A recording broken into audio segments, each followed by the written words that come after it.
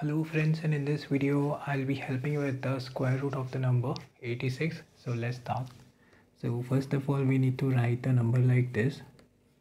The next thing we need to do is whatever number we write here we have to write here also. So if we write 10 here and 10 here it will be 100 which is greater than 86 so we cannot use it if we write 9 here and 9 here it will be 81 which is good to use so 9 here and 9 here 81 subtract 5 will be left.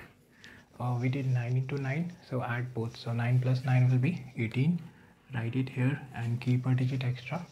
And this number we need to make it big but we don't have more pair so we'll put decimal.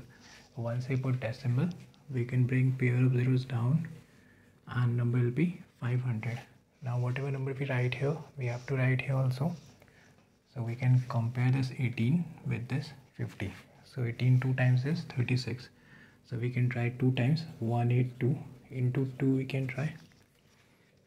And we'll be having 3 6 4 which is good to take. So 2 here and 2 here 3 6 4 subtract.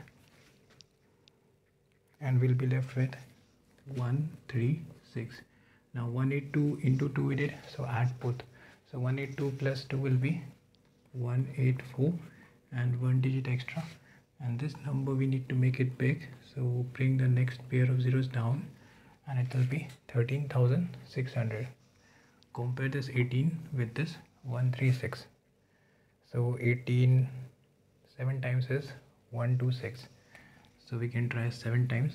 1847 into 7 we can try and we'll be having 12,929 which is good to take. So 7 here and 7 here 12,929 subtract and we'll be left with 671 now 1847 into 700 so add both. So 1847 plus 7 will be 1854 and one digit extra.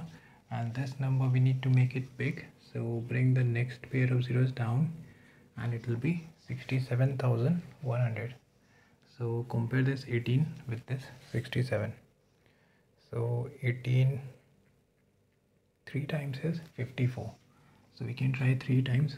18543 into 3 we can try. And we'll be having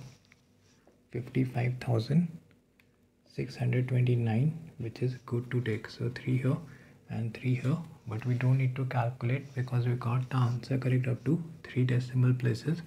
So square root of 86 will be 9.273 that will be the answer. So this is all about square root of 86 so if you found the video helpful please do the like button. Do consider subscribing and thanks for watching